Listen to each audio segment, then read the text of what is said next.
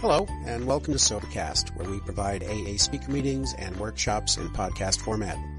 We're an ad-free podcast, and if you enjoy listening, please help us be self-supporting by visiting Sobercast.com, look for the donate link, and drop a dollar or two into our virtual basket. We hope you enjoy the podcast. Have a great day. Uh, my name is Rod, and I am an addict and alcoholic. Uh, you're going to have to bear with me here because this is absolutely the first time that I have spoken in front of this many people at once. So I'm definitely a little nervous. Uh, I thought probably the best way to go about this would be uh, how it was, what happened, and what it's like today. And uh, how it was uh, was probably about the same as it was for a lot of us out there. Uh, since I came into the program of Alcoholics Anonymous, I've found out that I am not the lone wolf that is in the painting. There's it was a famous painting once that had a lone wolf on the side of a snow-covered mountain, and a wolf stands there looking into a, the light of the cabin. And I used to feel like I was that wolf in that painting. I never felt like I fit, and I never felt like I belonged anywhere. Uh, I started drinking for uh, and using drugs for effect at the age of 12 years old, and uh, by the time I was 16 years old, I had a pretty good heroin habit going. Uh, through my, I guess my teens, growing up, I uh, I never really had a chance to develop a character because of starting to drink and use at such an early age, uh, I began to fall back on that in uh, in lieu of uh, everyday life situations. If I had to uh, react to a certain situation, uh, such as a relationship, or uh, had to learn how to handle an instructor, a teacher, or anybody with authority, or whatever it might have been, uh, I would just uh, drink and use and never did develop the character or my own personal way of reacting to life. So when I became an adult, I didn't have what most people learn when they're young and growing up. I didn't have a character. Uh, actually, I was more of a character. Uh, by uh, by the time I was 18, uh, it the there was a certain amount of denial that I guess that everybody finds out that goes along with this uh, disease of alcoholism and drug abuse. And uh, by the time I was 18 years old, one day I was sitting out in front of a connections house in a beat up old Volkswagen, and I was uh, waiting to cop some dope. And uh, I had sat there for like four hours and 105 degrees. And uh, at that point, it dawned on me that I wasn't recreationally using anymore. You know, that I actually did have a problem with it. The uh, the uh, the whole term recreational use, I don't understand it. I, I, what do you get dressed up in tennis clothes and use? I I, I have never understood that term. But uh, at that point, see, I, I discovered, or I, I, I admitted that I had a problem with alcohol or with, uh, with narcotics, but it never dawned on me that I, I might have had a problem with alcohol because I grew up in a family of people that drank and, uh, and drinking was uh, no big thing. You know, it was just, it was just part of life. Uh, for a long time, I thought beer was food. And, uh, so I never really thought I had a problem with, with alcohol. It, it was, it was only heroin. And, uh, of course anybody could smoke dope. There was, you know, I mean, everything was out on that. If you smoked dope, you weren't an addict. You were just, you know, cool. Uh, and the rest of the stuff, Christ, that was all right. Reds, the doctor, if you had the right doctor, you could you could get a script of Reds. It was no big deal. Um, so I continued. I went into the service and and uh, continued to drink, continued to use, and uh, off and on through my using, I get I get to points to where uh, uh, my heroin habit would get to be a little too expensive, and I knew I had to kick and clean up, and I would uh, usually do it by taking a couple fifths someplace and just crawling into a hole for a while and uh, waiting for the heebie-jeebies to pass. Uh, and it, I never, it never dawned on me that I was just replacing one problem for another problem. Uh, I always figured I, my main problem was, was, was, a, was a heroin. I went into the service, I came out of the service, and at that point I, I was older, and I had to more or less go into the mainstream of life. Well, by now, my only way of, uh, of reacting to life on life's terms was, uh, whatever drug or or if I was drinking what alcohol I had in me, that was the way I reacted to any given situation. You know, if, if I was loaded on dope, uh, smoke, I, I mean, I, I'd be mellow. You know, uh, if I was down on junk, hell, I wouldn't give a shit what went on around me. And, and if I was drunk, uh, uh, I was usually, uh, uh, rowdy and violent. And that's the only way I had to, in life, uh, to react was just to react, you know, due to whatever uh, stimulus I was under. And I thought that that was fine because we lived in the 20th century and it was better living through chemicals anyway.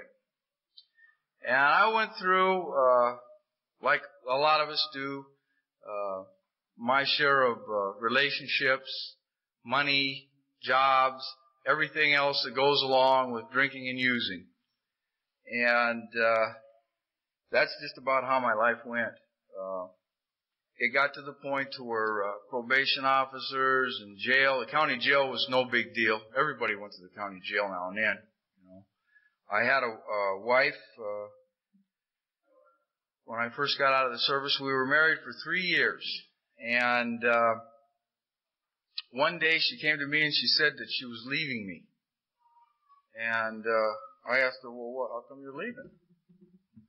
And uh, she said, Well, because you drink entirely too much and you shoot heroin. And I said, Well, what's wrong with that? Everybody does that. And in my mind, I actually thought that everybody did do that. Of course, everybody I knew did that. My mother did not do it, but then she was my mother, but everybody else I knew did it. And, uh, I couldn't understand why she wanted to leave a fun-loving guy like me, you know, just because I drank and used. And that was the beginning of my starting to get a glimpse or a message through my own head that maybe I've got a problem with alcohol on top of the drug use. I mean, it's no secret if you're shooting heroin, by God, it's just not normal to sit in a shooting gallery and pump your arm full of junk. Uh, but the alcohol, I was, I couldn't, I didn't under, I, I couldn't understand that I could have a problem with alcohol because it was just, I mean, every macho dude in the world drank alcohol, and I couldn't, I couldn't have that. Uh, and at the, be at the, when I lost my first wife, I started wondering if I didn't have a problem with that. So I, I went on through other relationships and, and, uh, other periods in my life uh, in and out of drinking, and of course by this time my drinking had gotten worse and worse, and I was drinking to excess, uh, excess daily and uh, getting up and drinking, maintenance drinking, and and uh, still with all of this denial that well I didn't have a I didn't have a problem with it. I just didn't have a problem with it. I used to think that my drinking was a direct result of society. And for criminy sakes, if you just watch the news and look around you, by God, it's enough to drive anybody to drink.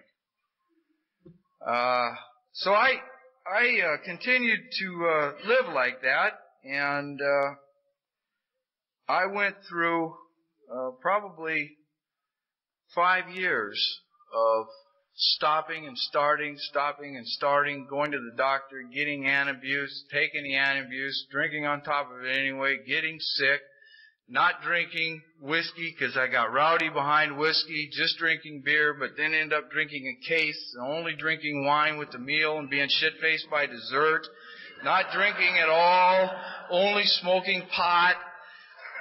And then I'm walking around so stupid I can't communicate with the rest of the world and then I'm not going to smoke pot or I'm not going to drink at all, and then I just call the walls. And uh, finally, it was uh, New Year's Eve of 1979 when uh, I was at a friend's house. And I was not drinking that night because I had just gotten out of jail the prior night for uh, uh, drunken disorderly. And uh, I decided I wouldn't drink because I would go through these trips when I was drinking. Sometimes I would drink and things were fine. I'd get along great with everybody and and the worst I'd have the next day would be a terrible hangover. Other times, I don't know what would happen. I'd just snap and I'd, be, I'd just fly into violent rages. And then whoever was in my way would either get hurt or I'd get my ass kicked, one of the two. And uh, so this particular night of uh, January 1979, I wasn't uh, I wasn't drinking because I was afraid of the results. So I went to this particular friend's house who was alone with just his two children, and uh, yeah, I sat there and we he he was drinking. He he commenced to get drunk on his ass, and and uh, finally he looked at me and he said, "Well," he says, "you know, if you're really really worried about your drinking, why don't you call AA?" He said, uh, "There's some real nice folks in that program." And then he passed out face first on the floor. so the next morning I woke up at seven o'clock because I wasn't drinking the night before, and uh, I thought I would call somebody and say Happy New Year's. But I couldn't think of anybody that I knew that wouldn't still be drunk or loaded from the night before. And at that point, I realized that uh, maybe it wouldn't be a bad idea to call Alcoholics Anonymous. So I called, and they told me that there would be a meeting at uh, Midtown down here in Stockton, and that I'd be welcome to come. So I went to the meeting, my first meeting, and I knocked, walked up, knocked on the front door because it was a residential house. Hell, I, I wasn't even sure I had the right address. And uh, this woman came to the door, opened the door, and she was dressed in high heels and stockings and a real nice dress on, and and and uh, an elder, uh, a little. I don't want to call her old, Christ's sakes, but she was an elderly woman with with her hair all done up nice. And I looked past her into the room, and there were people with. Uh, suits and ties, and some of them were just, you know, dressed up nice. I was standing on the front porch with with uh, a black eye, and and uh, I, you know, I just got out of jail the day before that, and I didn't look real good anyway. And uh, I I thought, Jesus, you know, I, I hit another church this can't be Alcoholics Anonymous. So they, I, and I asked them, is this Alcoholics Anonymous? And they said, yeah, it's, it's Alcoholics Anonymous. Come on in. And I, and I, and I, they took me in and they was having a buffet that day. Uh, so they took me around and fed me first. I guess that, that was the first place they took me was the food table. I must have looked that bad. And, uh, they got me a plate of food and took me to, uh, to the meeting room, sat me down, and they got me coffee, and they got me all the things that we get newcomers and uh, they commenced to have their meeting, and uh, the first thing, the meeting was on spirituality. And then I thought, shit, this is another church. And we went through the meeting, and then after that, some some of the new people took me under the wing, and and they drove me around and stayed with me for the day, and and made sure that that everything was uh, well, I was all right, and I wasn't going to drink that day, and invited me back to come to some more meetings. Well, to make a longer story short, I guess I did go back to some more meetings, and uh, there was a part, being a, a real alcoholic and an addict, there's a part that says the only requirement for membership to this program is a desire to stop drinking. My mind picked up on that immediately and reread the the line, and, and I didn't see anywhere in there where it said I had to quit shooting dope. It just said, don't drink. So I continued to make the meetings with smoking dope, shooting dope, eating dope, And as a result, I made the monumental decision one day to go ahead and try some more drinking. So I went, got a six pack of beer, went out onto the levee with my fishing pole, and said, now okay, now I'm going to be rigorously honest with myself and see just exactly what happens here. So I opened one beer and I drank it in about five minutes and I waited for the levee to break. And it didn't break. And I thought, oh, I don't know, maybe I just overreacted. So I drank, I opened another beer and drank it. And then I thought, well, you know, I don't see what everybody's getting so upset about. And then I opened up another beer and drank it. And still nothing happened. I had the six pack drank in 45 minutes. Within an hour, I had another case of beer out on the levee. In about five hours, that was gone, and I went over to the connection's house to get a bag of dope. At six o'clock the next morning, I was driving home, thrown up on the inside of the windshield again. Wondering what went wrong. Why this happened to me when I said I wasn't going to do this again. Well, prior to coming into Alcoholics Anonymous the first time, you know, I had come to the realization that I might die an alcoholic and an addict and had resigned myself to that fact. I came into Alcoholics Anonymous and those people talked about another way of living and another way of life. When I went back out, I decided rather than going back into Alcoholics Anonymous, I would go ahead and drink and use myself to death. Because if that's all there was, was not drinking and bingo in AA, I'd just soon die anyway. So, I, uh, I stayed out for six months and, uh, continued to drink and continued to, to use, and the progression got worse. My downward spiral, my downward spiral, uh, started falling straight down. And, uh, finally one night, uh, I came home and I put the key in my door and I opened up my house and I looked inside and, uh, there was nothing there. There was no furniture because I had sold it all. The house uh, was half burnt in the inside because one night I got I got loaded and decided I I needed some money and I thought what I'd do is get drunk and burn the house down and collect the insurance money. Well, the neighbor the neighbor seen a fire, broke the window, and put put the fire out with a garden hose. So, I mean, I'm looking at this, okay, and at that moment, that day I had I had uh, fixed about three hundred dollars worth of stuff and and uh, drank a, a fifth of Seagram's and a fifth of Blue Nun and, and a six pack of uh, Budweiser, and I wasn't drunk and I wasn't loaded.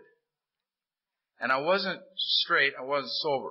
But I, I, when I put the key in the door and I looked into the house and looked at the physical wreckage around me, at that moment it was like I was standing outside of myself looking at myself. And I thought to myself, if I could have planned it like that, I, I don't think I would have planned it that way. And, uh, at that at that moment, I believe that was the first spiritual experience I ever had in this program, Alcoholics Anonymous, because I looked up and I said, "I need help," and that was probably the first honest prayer I'd ever said in my life. So I went back to Alcoholics Anonymous and told all the people in there about what a what a miserable, lousy time I was having out there, and how how how how don't go out there and try it because boy, it gets worse. Just like everybody said, and there's a big old carpenter guy in the room that stood up and said, "You know what? We're not in here to hear people snivel. We're in here to have a meeting." Now, if you sit down and shut up, we go on with our meeting. And that was the best thing that could have ever happened to me because I stayed sober the first six months just to show him I could do this. and later talking to him, he told me that's exactly why he did that. So, at that point, uh, I, I could not go back out because the fear of living was greater for me than the fear of dying, the way that I used to live. So I decided, well, I'll, I'll stay in Alcoholics Anonymous, and I will just go there every day and let whatever happens happen like they suggest. So I started making the meetings and in the beginning they tell you to bring your, your body and, and your mind will follow and that's exactly what I did. And slowly, in spite of myself, the program started to work. And, uh, after, uh, after about the, uh, I guess it was about the first seven months, I had a realization driving to one of the meetings that uh, I had not drank and I had not used for seven months. And at that point, I couldn't believe that this had happened to me, that I actually had made it seven months without drinking and using. And from that point on, I think is when I, I started to work the program a little more and listen a little harder. And then there was another, there was a person that was put into my life in a, in the form of a relationship about that point that didn't work out. And after that failed, I really started working the steps. And it's funny how a failing relationship will do that to a person. Uh, so I, I started to work the steps of the program Alcoholics Anonymous, and uh, and my life started to turn around slowly. And I'm not here to say that it turned around fast. There was a lot of uh, a lot of work, and there was a lot of pain, and uh, and there was a lot of joy mixed in it too. And as a result, uh, now my life is completely turned around and I have things that I never dreamed I uh, that I would have um, as a result of the program uh, of Alcoholics Anonymous. The first thing I think is I uh, I developed a relationship with a God as I understand Him, and that is the most important thing that has happened to me in the program of Alcoholics Anonymous. It in itself has given me the strength to make it days when I don't think I can go any further. Uh, it's returned to me uh, some serenity and a huge amount of peace of mind. I have I have been learning the fine art of acceptance, and as as a direct result of the acceptance, uh, I honestly feel that that's where a person uh, develops their serenity or gets their serenity. Uh, has given me back my family, and it has given me back uh, the ability to go out, and make a living, and to deal with life on life's terms. And it has given me the respect and the admiration of sober and clean people, uh, be it on the program or not on the program and has given me, I guess, what do they say, the intuitiveness to deal with problems that used to baffle me. And all of this I've gotten as a direct result of Alcoholics and Narcotics Anonymous programs. And I can't, gratitude, we have meetings on gratitude sometimes. And uh, it's always a tough subject to talk on, and I honestly believe that that the subject of of uh, gratitudes and and and what it's like today is actually what we need to talk about more because while we shouldn't forget the past well, well, while we shouldn't live in the past, we should not forget about the past either. And too many times uh, we have a tendency to dwell on the past. And the uh, the present, I believe, is God's gift to us from the program of Alcoholics Anonymous. And the benefits that we reap in the present as a result of the program are what the program is about. And in the uh, as a as a direct result of uh, Alcoholics Anonymous, um, you know, we talk about gratitude, and for me, it, it's hard to talk about because I don't have the words in my vocabulary to explain the way I feel. But the only thing I can say is, is if I could zip myself open and you could get inside and walk around for a little bit and you could come back out again, then you could experience the magnitude of gratitude that I feel as a result of this program. And it's uh, definitely been the, the greatest thing in my life. I always thought in my heart that I would I was going to go on this long journey, something like a, a merchant sailor or something like that. And uh, I had no idea that the greatest journey in the world I was going to take was going to be in my own head.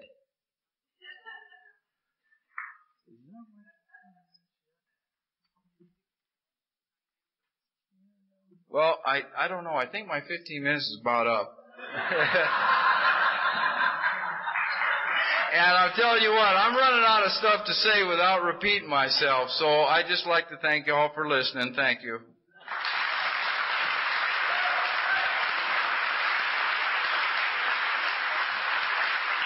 Thanks, Rod.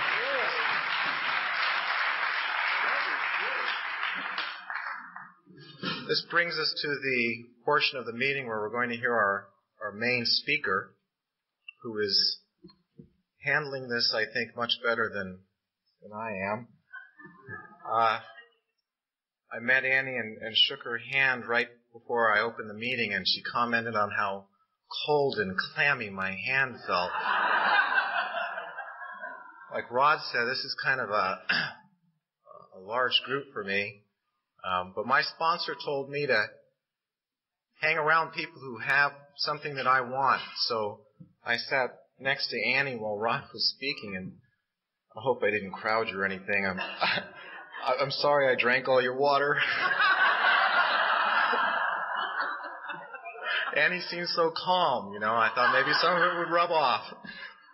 Please welcome Annie B. from Cameron Park.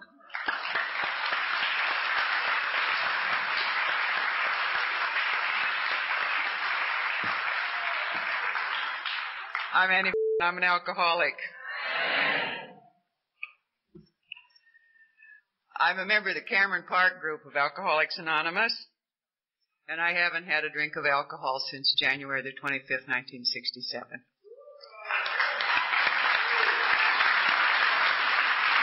One day at a time. You know, and in response to what Mark just said, I, uh, you know, we don't change, do we?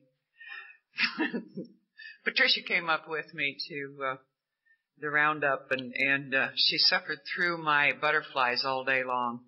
You know, I'm not sure whether I just have anxiety or the flu. And I know I'm going to feel a lot better at 9:30. Um, I like like Rod. You know, I have uh, the last time I think I spoke to a, a group this size was a number of years ago and I had been asked to go down to San Francisco and uh, speak at their uh, monthly speaker meeting down there, and that was when I was really into saving people, and I knew that I would, and uh, went down and, and they had it was an amphitheater type uh, meeting place, and and uh, God, they come in and they packed the place. It was like it was tonight, you know, and. Uh, I really thought that I had a message to give and that, that I should be saving folks and and I talked for I was it was supposed to be an hour and a half meeting, and I talked for about 45 minutes, and we didn't have a, a 15 minute uh, warm up speaker at the end or whatever you call them. And and I was like Rod, and I was through, and I didn't have anything more to say, and I was absolutely terrified. I I did the whole meeting, and and I never did get out of the fear and and get into being you know a part of us. And uh, I said I quit. I'm through. And and Jack Gardner was the central office secretary at the time, and he said, you know, Annie, that's really okay because a lot of people go on and don't have anything to say, and they don't even know that they're through. And so, you know. It made me feel a lot better, except that, you know, I really knew that I hadn't saved anybody because when the hall began to clear out, here's this one poor little drunk, drunk, drunk, still passed out up there on those steps. So, the other thing I need to say is that I feel that, you know, I have a job to do here tonight, and so do you. Okay? And mine is to be a channel, and I'd really like to ask my higher power now to make me that channel. And if He has a message for us tonight, that I be that channel. And you have a responsibility to listen and hear the message that's there for you. And I'm sure if we both do our job, there is a message there. I want to say I'm really grateful to the three that identified themselves as new in the fellowship in the first 30 days. I must have something to share with you that you haven't learned yet. I've been here for 23 years and you've been here for 30 days, and that's the reason for my being here, is to share something with you. That also goes for the other ones that are in their first 30 days and weren't courageous enough to raise their hand. There may or not may be in the audience tonight. Um, I've given 10,000 pitches in my mind today. No, no, not just today. I've done it ever since. Well, I guess when Will called me at first, and then I verified it again last Tuesday with Val. You know, there was the one that once upon a time in the state of Nebraska, there was a fairy princess born to a loving family that really didn't know how to love, and her name was Annie Lee. Does anybody in the room identify with the fairy tale? you know. And that was the way I lived for a lot of years. You know, and, and, and I hear people say that, you know, I just really didn't feel, oh, by the way, I came from a functional family.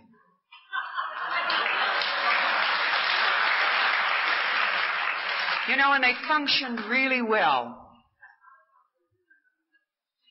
They didn't do things like we do things somewhat today, but that was a lot of years ago. Anyhow, we functioned pretty well. But I grew up with real feelings of insecurity and not belonging. When I was about in the sixth grade, I decided that I was adopted. Now this is in the middle of the Depression. I was in the middle of a family of seven. And I am so self-centered that I thought they were going to adopt somebody. You know, they had problems. They were already raising two cousins that, you know, they didn't have to. Um, I went to movies as much as off, as often as I possibly could, and I really believed that life was like what they showed on the golden screen or silver screen, or it should have been that way. You know, and my family wasn't, so I became ashamed of my family. We grew up, I grew up on a farm that did not have electricity. It didn't have running water. It didn't have an inside bathroom. And I was not deprived. We were poor and I didn't know it. I didn't know it until I actually went to high school and um, really was around people that had electricity and running water and inside bathrooms. But there are a lot of things that we had in our home that a lot of other people didn't have. You know, one of my neighbors didn't have a mother. One of my other neighbors had an alcoholic father. Um, you know, it, it we were a functional family, but I was insecure within myself. I didn't know how to relate to people. And it was the way that I accepted life or didn't accept life. When I, I was okay in the family at home, but when I went to school, I didn't feel a part of. I didn't feel as smart as. I didn't feel as good as. Um, and I struggled and I fought with that all of my life. I think that's one of the reasons that my head kind of went so crazy today. You see, and, and, and I will allow my head to tell me that I'm different from you, that we aren't one. And that's not true. We are one. Um, I found alcohol when I was about 13. And at every opportunity that I had to drink, I drank. And from the very beginning, when I drank, I drank alcoholically. And for me, the meaning of drinking alcoholically means that once I've taken a drink, I can't guarantee you my behavior. And that doesn't mean that if I say I'm going to drink one drink, that that might not happen. But I couldn't guarantee it would happen. And that was through, true throughout all my drinking. I uh, I got through high school without any problems and and uh, went from high school to Omaha and went to work and came to California and went back from California and was married. And uh, my first husband was killed in an automobile accident when we were married a year and three months. And yeah, I had drank off and on, but it hadn't appeared to be progressive. But when he was killed in that accident, it was such a tragedy. And, you know, I knew how it would have been. And my solution was to drink through it. I was staying, I went home and I lived with my parents. And that was probably the most amoral, uncontrolled, unacceptable drinking that I had in my life. And I grew up in this little town that where alcoholic drinking was acceptable. And they accepted all of that unacceptable behavior because it was so tragic that a 21 year old had lost her husband and, you know, and my life was down the tubes as far as I could see it. I stayed at home with my folks and I taught school a year and, uh, uh, went to college and my, my drinking was really getting progressive at this time. And, uh, I went to college for a couple of years and was finally kicked out of college. I wrecked a car in a drunken binge and, and, uh, was told that I couldn't come back and I talked him into letting me finish the semester. And on one vacation between semesters I'd come to California and had run into a fellow that I had gone to grade school with. And, uh, had decided that if they weren't going to keep me in college, uh, I was of the old school that believed that if I wasn't in college and didn't have a job, you know, I was supposed to get married anyhow. So I called Bob and, and he said, come out. And I came to California and we were going to be married. But it was in the winter time and he didn't have a job.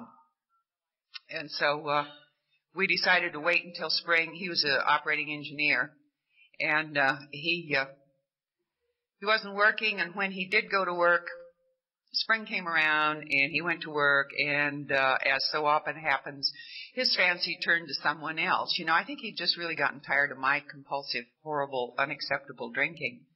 And um so i went off on a binge with other people and i found myself another lover and and we had a relationship for a period of time and he was a real con and he conned me out of my car and out of this and out of that and took off and a few months later, he called up and said, you know, I'd really like to have you join me in Southern California.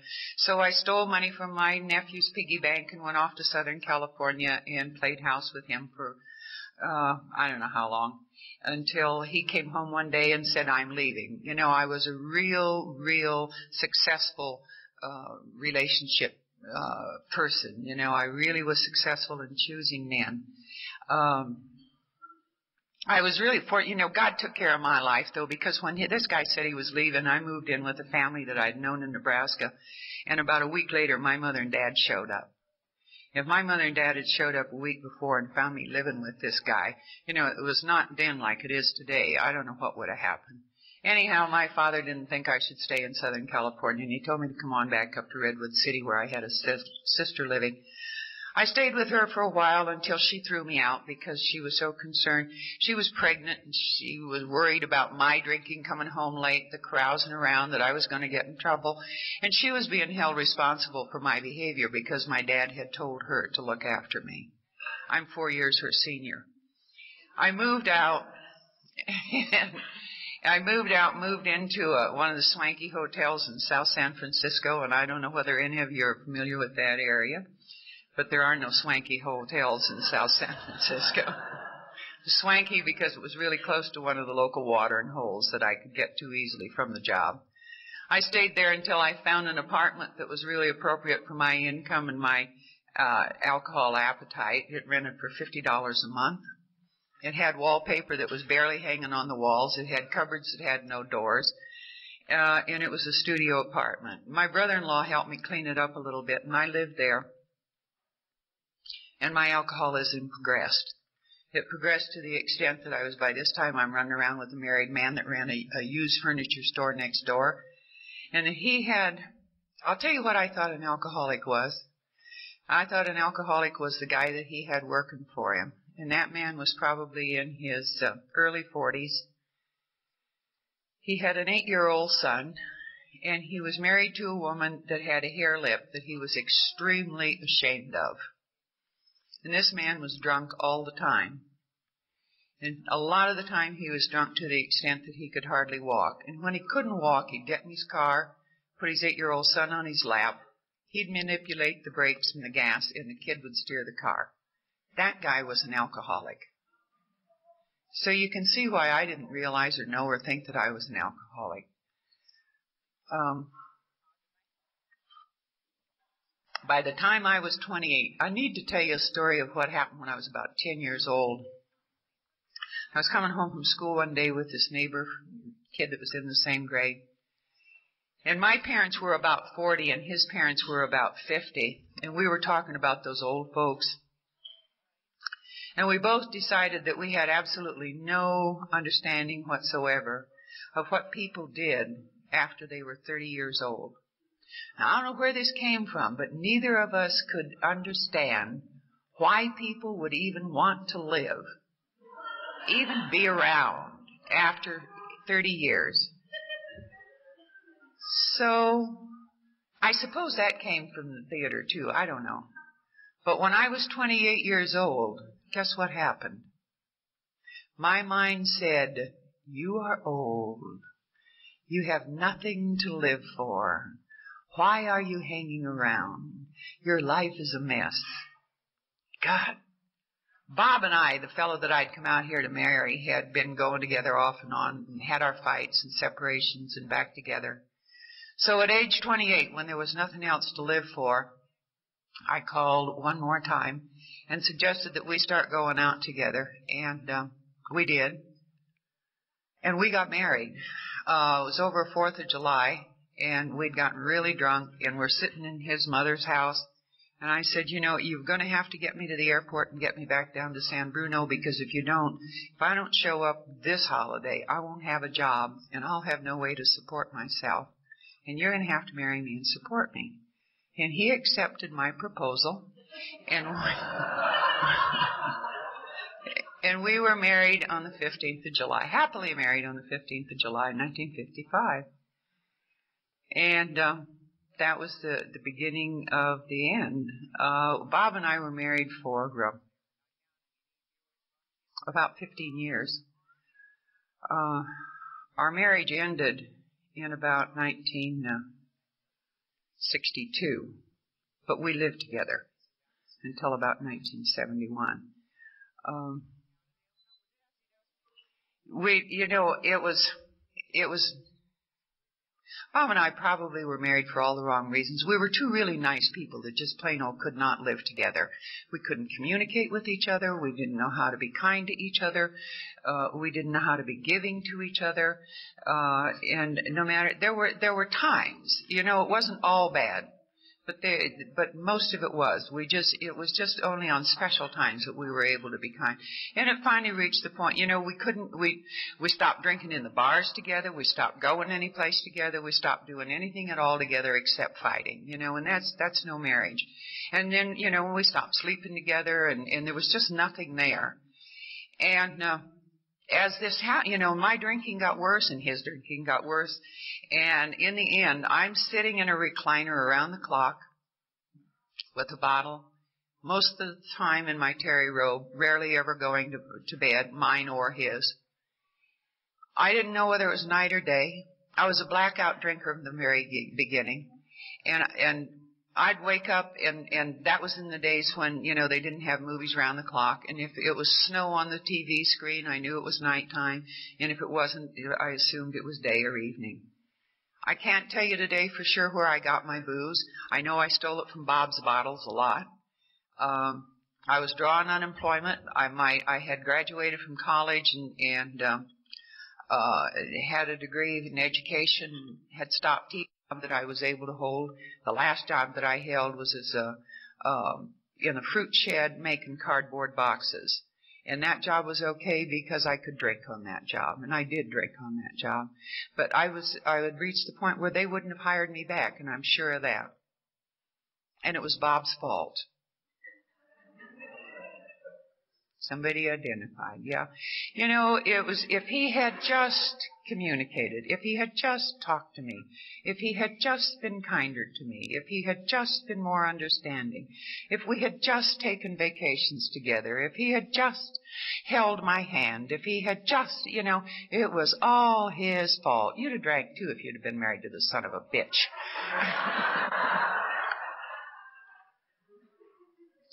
so, um, I didn't, I was, I, I had drank so much and I was in blackout so much that, you know, I didn't have any friends anymore either. Nobody could communicate with me anymore. If you tried to call me, I wouldn't remember that you had called. I spent some time trying to write down the fact that you had called me and that we'd made a date or something, and my writing had gotten so bad that I couldn't read it. And so I never kept appointments. And so, you know, eventually people just stopped trying to communicate with you. So here I'm married to this drunk that I don't want to be married to, and, and I just, I knew I had to change my life. It was, you know, this was the beginning of the end, and I didn't know that. So I decided the one way that I could, um, get out of this morass that I was in was to get back with people. And the only way that I knew to be with people at that time, I still belonged to the American Legion Auxiliary. Don't ask me how, I, I don't know. Anyhow, I was going to go to American Legion Auxiliary meeting and I got dressed. Always drunk. Never, you know, I, I'm drunk around the clock. I, I'm not sober when I got dressed to go to that meeting. Got in the car and I'm late. And I headed out for the fairgrounds at the American Legion, and some guy in a truck pulled in front of me, and I almost hit him. I was so angry with that man that I was going to stop him and make a citizen's arrest because of his driving. And I followed him out Pleasant Valley Road until I lost him because I was, I used to say, because I, you know, I was trying to follow his license plate and I couldn't get it because it was covered with mud. I don't know whether his license plate was covered with mud or not. I'm sure I was driving with one eye closed so I could watch the white line on the road. Anyhow, I lost him and I turned around to go back to that meeting, hurrying, and I have a lead foot anyhow. And, um, I got off on the side of the road. It's kind of that was kind of a curvy little old mountain road, and I hit the soft shoulder, and I lost control of the car, and I hit an oak tree head on. I'll tell the Jesus story. Anyhow, the highway patrol were coming up the highway and saw me hit the oak tree. And I was going at such speed that they were quite sure that they were going to find a corpse. But what they found, you know, I'm staggering out of the car. I've lost a shoe and I'm standing there babbling about finding Jesus Christ's hand.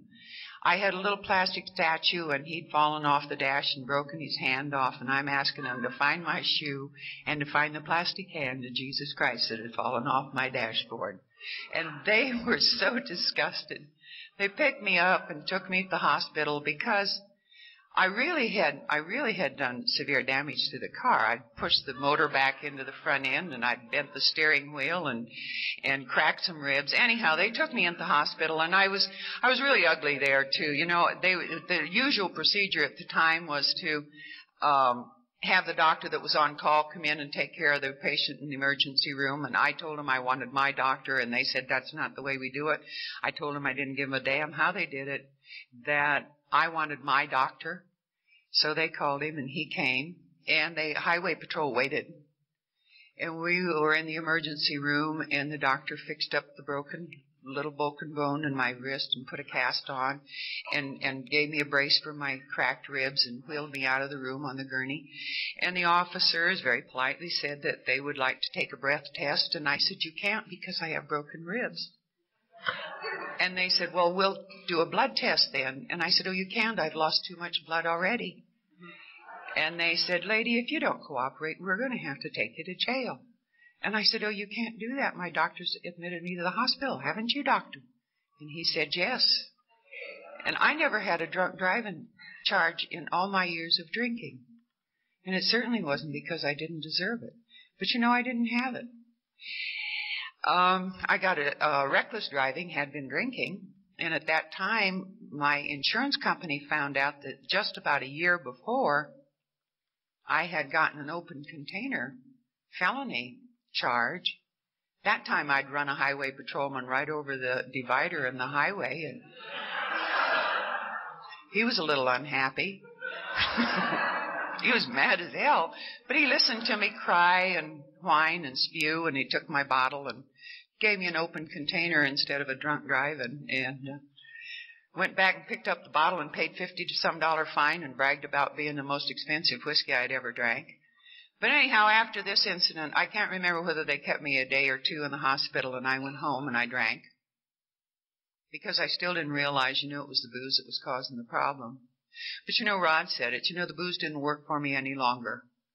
I couldn't get drunk and I couldn't get sober.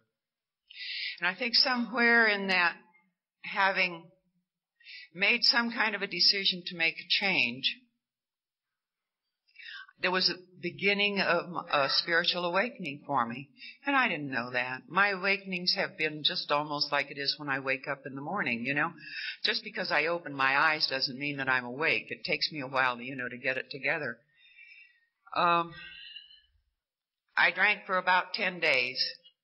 You know, and I knew I was going to have to get rid of that guy that was all the cause of all my problems. And the truth came through that if I got rid of that guy that was the cause of all my problems, I was going to have to go to work. And if I went to work, I was going to have to get dried out because I couldn't stop drinking by myself. Now, I didn't want to stop drinking, but I didn't want to continue drinking like I was. So I was going to get dried out and go back to the social drinking that I had done before. And I didn't know any way to do it except to call AA. You see, I knew about AA because I'd gone to Al Anon. And I'm, well, I'm here to tell you it doesn't work. I went drunk. And do you know he continued to drink whether I went to Al Anon or not? So it doesn't work. And, uh, uh, I called up. Uh, we used to, when we, when I went to Al-Anon, we used to meet in the lady's house whose husband was a member of AA, and I called their house and uh, because I decided, you know, AA'd help me stop drinking till I could go back to drinking socially. But Connie wasn't at home, so I called a lady that was in Al-Anon. A lady that has a friend of mine and a neighbor, and we had introduced her to the drunk that made it necessary for her to go to Al-Anon. And uh, she was really excited that I had called and had finally decided to go to A. And I'm sure that she had known for some time that I was in need of the fellowship. And she gave me a telephone number to call. And that person's here tonight with us, but he wasn't there that night. Uh, and she said, I'll continue to try and reach somebody in AA too. Just don't change your mind and don't go away. Anyhow, she did, and uh, I had I was I you know it took him forever, took her forever. No, she got through to this fellow, and he called me, and that was fine. I was really grateful that it was a man that had called because I sure didn't want to talk to any of you women. And he talked to me and said that his wife was at some kind of a pottery meeting or something or other, and as soon as she got home, why they'd come up. And I suggested that he just come on up now and not wait until she came back, because I didn't need to talk to her anyhow. And he said, no, well, well, I think we'll wait until she comes back. So he did, thank God. And uh, another lady, I forgot. Anyhow, another little red-headed gal, and and uh, Mary and Vern came to my house, and when they arrived, I told them it had just taken them so long to get there that I'd poured me another drink and I was going to drink it. And they said, It's your choice. And for you guys that are in the back and that are new, that's what you've got here in Alcoholics Anonymous. And that's a choice and the choice is yours. Now, until those people came and they told me that, I didn't have a choice any longer as to whether I drank or didn't drink. But that's basically what Alcoholics Anonymous gives us. And I chose to drink that drink. But that's the last one that I've chosen to drink. They sat there and I can't tell you a thing in the world of what they said that night. But that night I went to bed didn't sleep in the recliner, got out of the terry robe, didn't drink all night long, got up the next morning, didn't have to drink, didn't even think about drinking. Only thing I could think about was how in the hell can I get out of this? They had said they'd pick me up the next night and take me to a meeting. And I, did not. oh my God, you've done it again. You made a commitment to do something and you don't even know who these funny folks are or anything else, and you know, and you don't know what Alcoholics Anonymous is really about and how you're going to get out of it. And I paced, but I didn't drink. I picked up the phone and I called to tell them, finally, I got courageous enough to do that, that I wasn't going to be able to go to the meeting with them. And Vern answered the fellow, and, and, and I said, you know, I've got, I've got this cast on my arm, and I've got this brace on my ribs, and I, you know, I can't even get a bath and get into clothes and get dressed. And the weather is terrible. The wind was blowing. This is in January. And it was just awful. And I said, you know, when the weather clears up and I won't have so much trouble getting dressed, then I'll go to an AA meeting with you. And he said, if you wanted a fifth of whiskey, you'd find some way to get your clothes on and you'd go out in weather like this and we'll be by to pick you up. What do you do? You know, you take a bath and you get dressed and you go out to the meeting. And uh, there weren't meetings all over the place like there are now, and the closest meeting was on San Juan in, in Sacramento. And there was a carload of us. And one other brand new spanking baby, Janine and I, and we went down and um, went to that meeting and sat in awe and listened to you guys tell stuff that we worked real hard to hide. And there was a girl there named Heidi, and Heidi said she was an alcoholic and she drank two glasses of wine a day. Oh my God, I'm drinking about a fifth a day. I've got to be an alcoholic, you know, and this is going through my head because at that time, you know, I thought that how much you drank decided whether you were an alcoholic or not. And uh, they don't, they didn't encourage us to try to do a lot of talking when we first came in. In fact, what they used to tell us, sit down, shut up, take the cotton out of your ears and put it in your mouth because you don't know anything. And that's true. They did ask at the end of the meeting if we wanted to say anything, and you know, and there's a half a minute left, and I said, I'm Annie and I'm an alcoholic and I cried. You know, and I'm not sure what it was. I think it was a great relief. I think it was a great embarrassment. It was a great shame. You know, there's a lot of guilt. But it was the beginning of the end, you know, the beginning of the surrender. Janine did the same thing. You know, and the beautiful part of not having meetings on every corner was that we did have to get in the car and we did have to go places. And it's a lot more comfortable to ask dumb questions in the dark when you don't have to look somebody in the face and ask the dumb questions. You know, it, I found it just, you know, it was just really great. I'd been going to meetings for about two months, I guess it was, and, and we went to a meeting and, and, uh, they started talking about sponsorship and I hadn't heard anything about sponsorship. I, my eyes wouldn't focus when I first came in. I couldn't read the big book. And uh, so anyhow, um, after the meeting was over, I rushed to this lady who had come up to make the 12-step call on me, and I asked her, you know, what this sponsorship stuff was and where did I find one and was she mine? And she said, yes, she was mine until I was well enough to be able to choose someone, and you know, she, I could let her know. And, uh, you know, I believe today that God puts the people in our lives that we need to have in our lives. I was an arrogant, outspoken, belligerent, antagonistic bitch when I came to Alcoholics Anonymous. And I frightened most people. I frightened most people away, you know. But this lady was able to be really nurturing and loving and kind and caring to me. And she had daily contact with me. You know, today I hear people say, give that newcomer telephone numbers and pick up the phone and call. Thank God you didn't tell me that when I came. Mary had daily contact with me. She either came, called me or she came and got me. I'd wrecked my car, remember? She took me to her house she just let me sit there and be. I could be the lump I was. She taught me how to knit. My first garments were fabulous. Lacy like you wouldn't believe, and like they weren't supposed to be.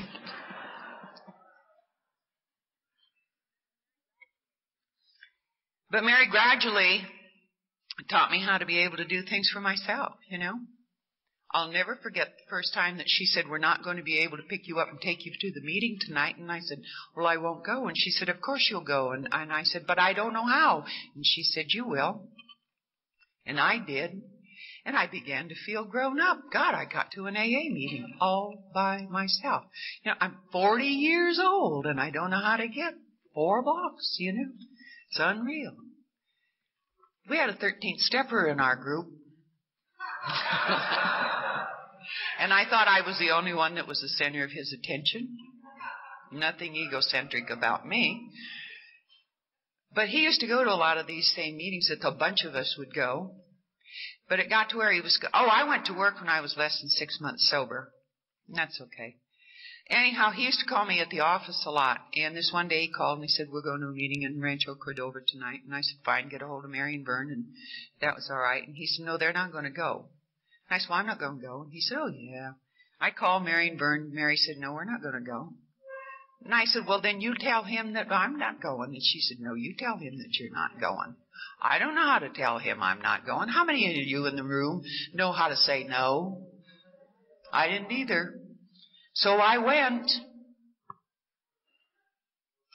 But and, and we sat in the meeting and, and he played kneesies and I was really uncomfortable. My mind was probably in crazier shape than it has been all day today. You know, because it was not at the meeting. It was, you know, what's going to happen after the meeting because I still don't know how to say no. And after the meeting's over and we're headed the wrong direction, going down Motel Row in Rancho Cordova. And he's saying, well, which motel do you want to go to? And I decided, defiance, you know, you go ahead and choose it, but I want the most expensive one there is on the motel row here. and and it kind of stopped him, and he turned around and he headed back for Placerville.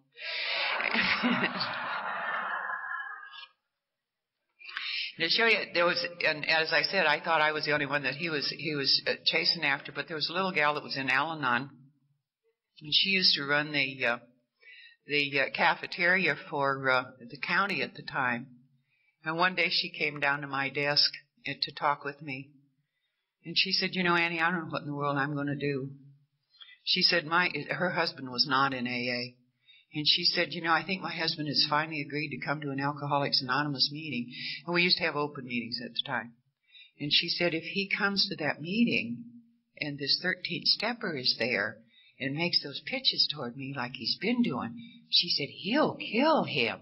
And I said, He's making pitches for you? and, you know, thanks. And I thought that I was the only one. Anyhow, uh, what am I doing time wise? I sure feel a lot better. Um, and, and we're we're us now. Um, you know, I took the steps when it got so painful to not take them that I couldn't do it anymore. You know, and I took them half-assed until it became so painful that I had to just put my whole heart in it. Um, everything I've learned, I've really learned the hard way because it, I find it so difficult to let go. I think the thing I really uh, want to dwell on, my life is, is so absolutely beautiful today that there is just no comparison. Alcoholics Anonymous has given me so much. There, there is no way that I can tell you what it's about. One of the things that I promised myself that I would try to remember to share tonight, and that sounds goofy that I'm going to say this after what I've just said. I have a higher power in my life today that is is is the closest thing that I have that fulfills all my needs and most of my wants. And it's always for my good. And I never knew that. And when I hear people say, God, I got this job and it was just exactly like what I wanted and it was God's will.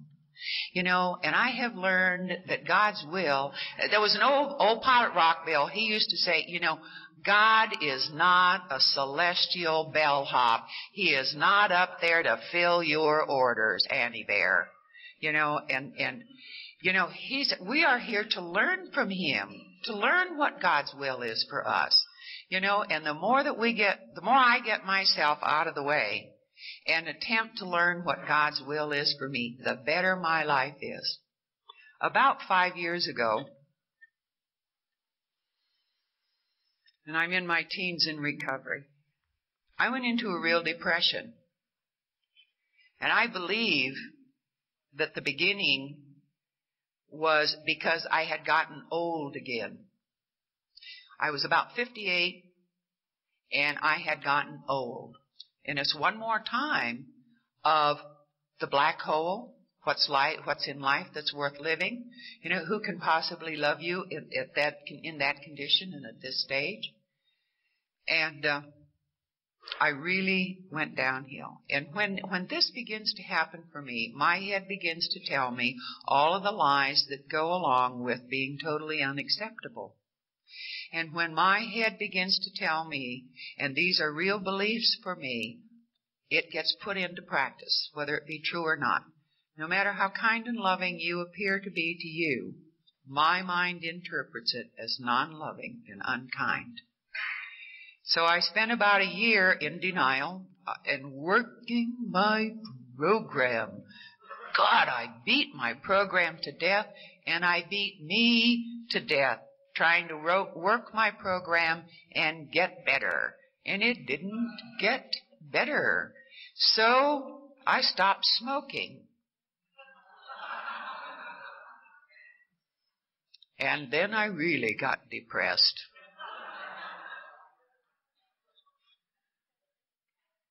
and I'm really working my program.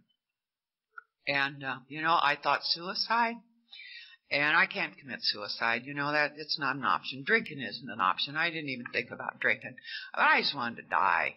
And, uh, and I kept looking for solutions, you know, out there. One of the girls that had come into the fellowship in Cameron Park had spent a lot of time in and out of mental institutions, and I knew if she, if anybody knew anything about it, you know, maybe she did.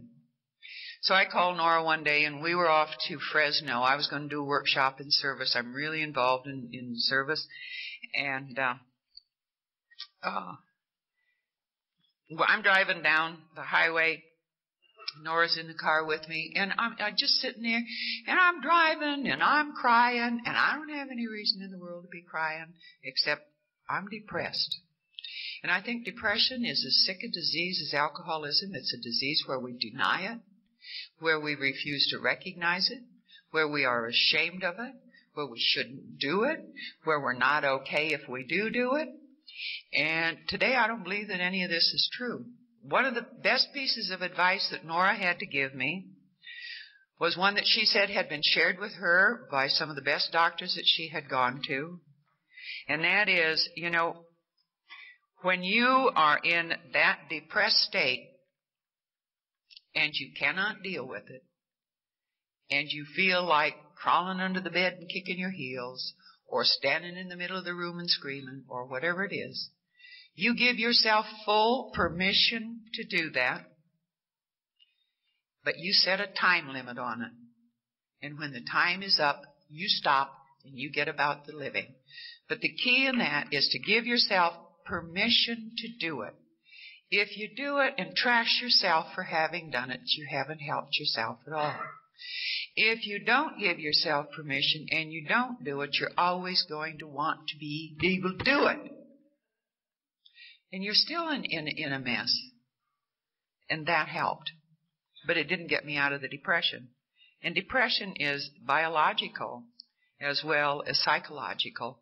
And I went to a doctor that I had known for over 20 years that was a psychiatrist and one that I knew and respected and that I knew dealt with alcoholics and was not into pushing drugs. And by the way, I am not an addict but I don't believe that we should abuse drugs, no matter what. Anyhow, I went to doctor, uh, and uh, he gave me a medication, and it did not work. It made me really sick, and we changed the medication, and I took it for about 30 days. And I told him it was very expensive and asked him if he could prescribe something that would do the same thing and wasn't as expensive. and he gave me another prescription. And when I had that one filled, because by this time I have taken the medication for about 40 days, and I'm beginning to be a little anxious because I've heard how we've talked about using drugs in Alcoholics Anonymous. And I said to him, Doctor, how long will I have to take this? And he said, You will know when you won't need to take it.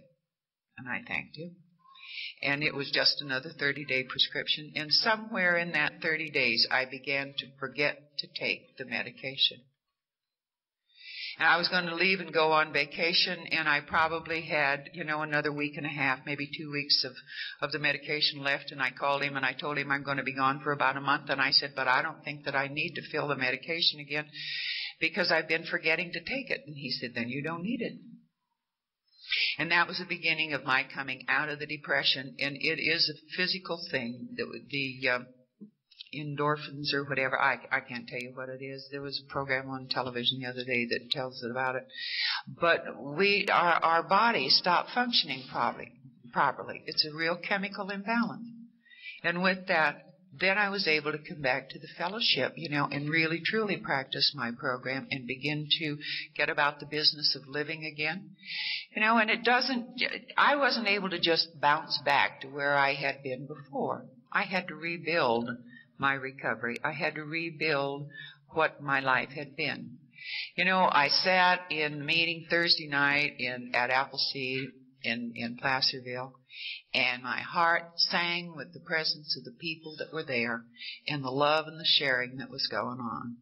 I sat in the meeting last night as Mike shared and listened to his story of recovery, you know, and I just love this fellowship. I knew Mike when he was a kid, a little kid. I knew his mom, you know, and, and they're sober today. They're sober today. And it's just, it just, this room is full of people that I've known for some time that I just love. And that have given to me far above and beyond anything that I could have ever imagined from watching the silver screen. You know, if I had settled for those things that I had thought that I wanted, that I saw there, I would have settled for second best. So I guess that the best that I can say to you is don't drink and go to meetings and get a sponsor that you use and read the big book, preferably for yourself, and um, get into service. You know, um, I attempted to um, try to prepare myself to come and share with you tonight. One of the things that I was going to do was listen to the big book again. And there were so many other things that I had to be doing I couldn't listen to at all. But one of the things in Bill's story, Bill talks about, you know, um, faith without works. Is it faith without works is dead? Yeah, okay. And you hear that a lot in meetings, right?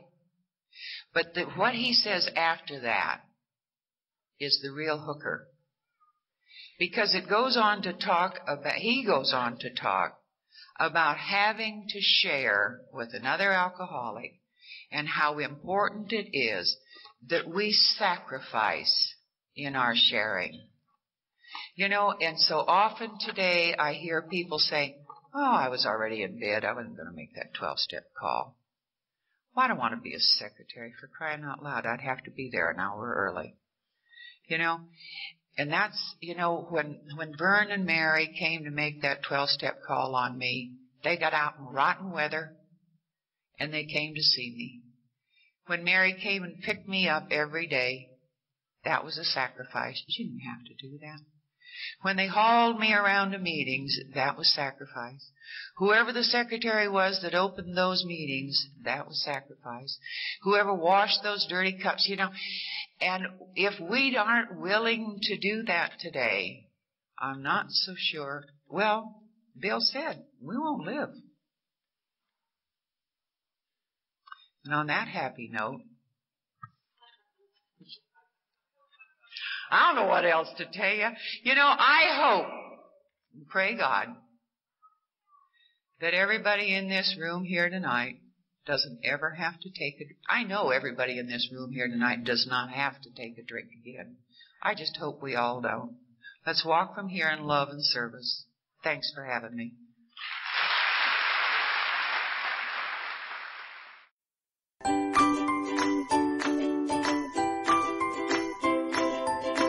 Thanks for listening. I hope you enjoyed the podcast. Sobercast is ad free, and we'd like your help in order to keep it that way.